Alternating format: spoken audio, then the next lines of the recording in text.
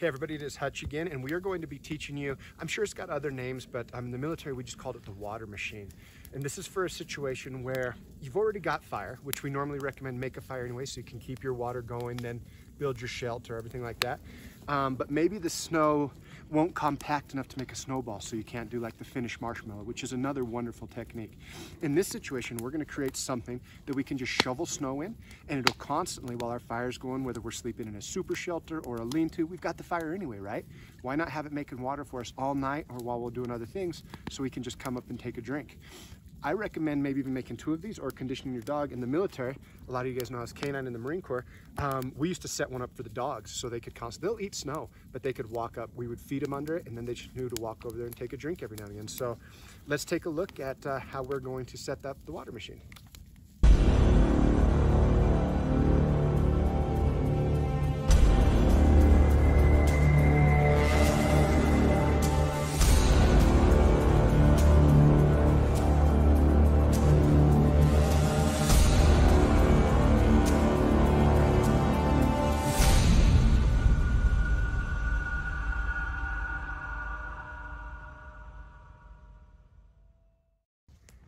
The first thing we need for the water machine is to build a tripod. All right, so what I'm gonna do here is I'm doing a quick tripod. I wanna make sure the bottom of my tripod is lined up. I couldn't care less about the top. And I tie a loop, any kind of loop, in my cordage, and I leave several inches here so no matter what type of lashing that I'm doing, I can end it really easily, especially if I'm forgetting things or my hands are shaking, with just any old knot, square knot, anything, like tying my shoes. So what I'm gonna do is I'm gonna put that loop about a hand span or two. You don't want it falling off. I just put that around. Now, if you're going after a merit badge, you still have to use the proper lashing and everything. But remember, a lot of times we teach things uh, in a certain order, a certain way every time, just so we don't leave them out. So that really is all you need to start most lashings. And rather than zigzagging through these, I'm just gonna do a really quick one. I'm gonna suspend the um, sticks just by holding them in my legs up off the ground to make it easier. And I am just gonna tightly go around three or four times. This isn't gonna be load bearing, so I'm not overly concerned. Just dressing it a little bit. I just really want it to hold together.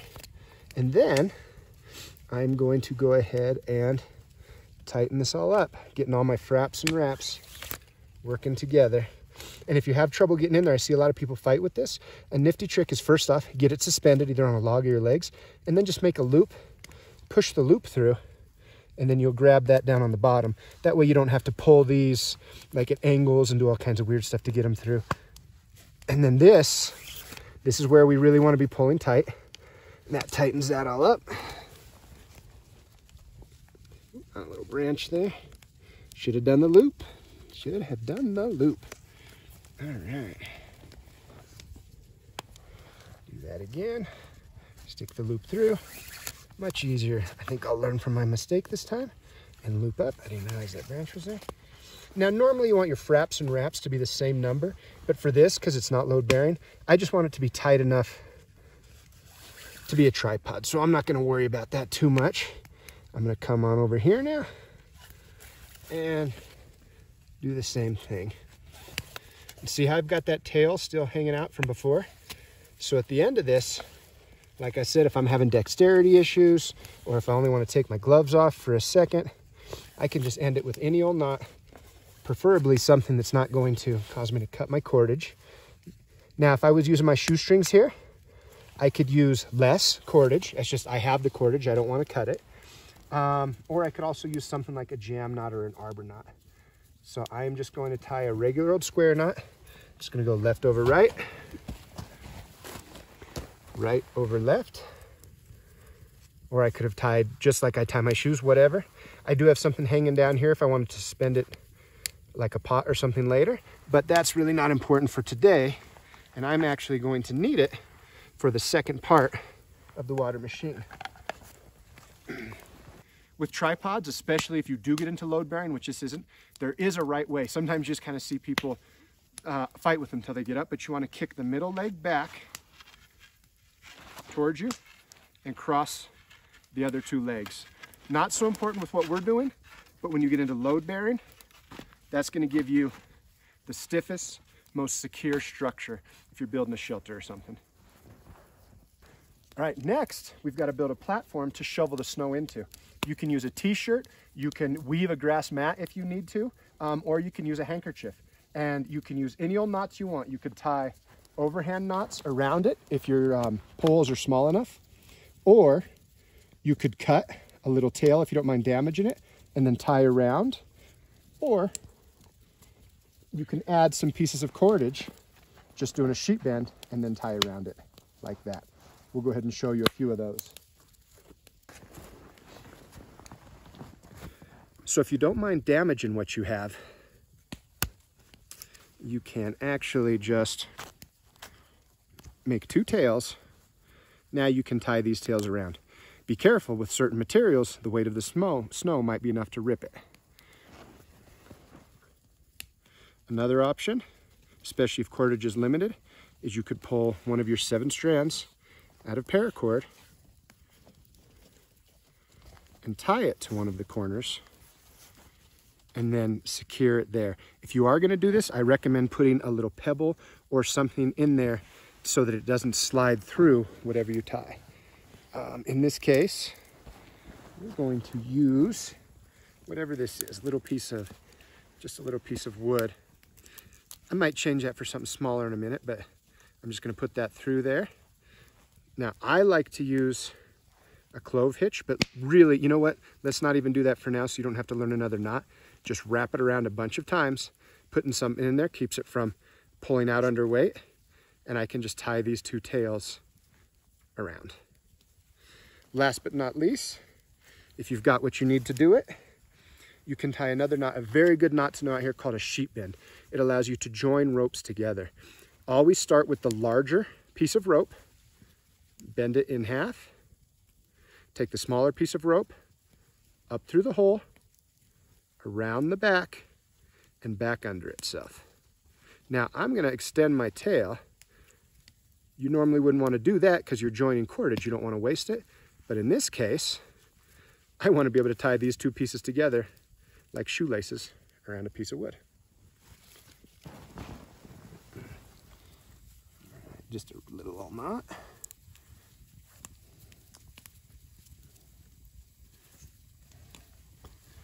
Next, let's tie this one up here. Once again, just a little knot.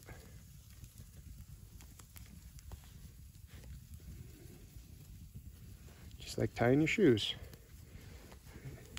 Now when you attach your last piece, it's really important that you make sure to leave a little dip for the snow, okay? And here, because of the way it lined up, I'm just gonna tie it to what's there.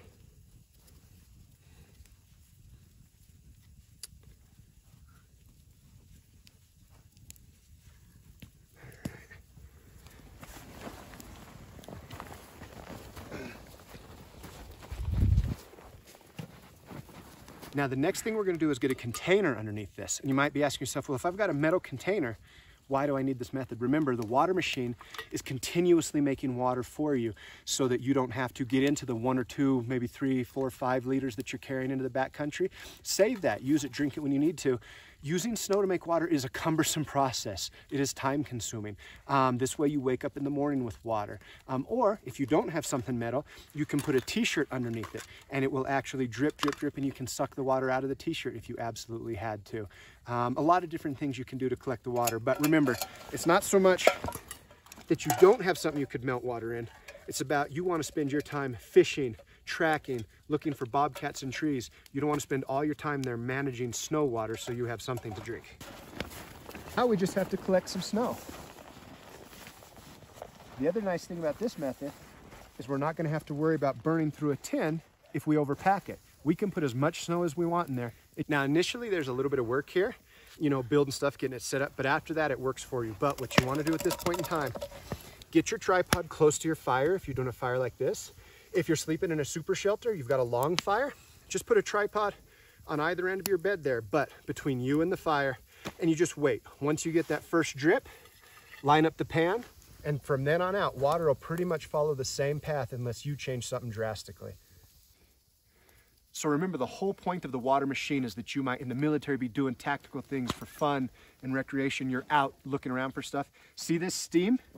That's a good sign. See, I can already see moisture here in the bandana. I don't know if it's dark enough for you to see, right? We don't want to just be sitting around watching this, waiting for it to go. We're looking for this moment and we start seeing steam and stuff like uh, this, this water.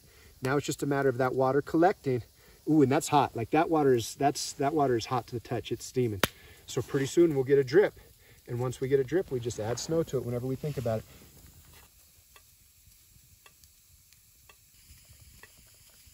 You head out in the woods, you just bought all your survival gear from whoever. Make sure you do things like wash your bandanas. See how this water, we bought this brand new uh, bandana just to make the video. See how it's purple? That's a stain, which could make you sick. So when you get your gear, make sure to wash it once, use it once in the backyard, make sure it works. I hope you like the water machine. Uh, if you do camp with a dog, start getting them used to the things you do, sleeping in shelters, drinking water, because the first few times, it's gonna be new to them. They're, they're not gonna understand that that's their water. Um, let them know one's for them, one's for you. As far as doing this stuff, uh, as you can see, we've got a nice little supply of water. I can go about my business. I'm not using the water that I carried with me.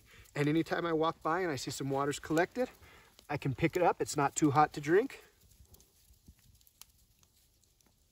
and I just put it back down, drop some more snow in, and I forget about it until I see it again. Keeps me on a good hydration schedule out here in the cold. Thank you so much for hanging out with us. I love sharing this stuff with you. I hope to run into you sometime out here on the adventure trail. And whether you're trying this out here with us or in your own backyard, remember, there's no such thing as a small adventure. Have fun out there.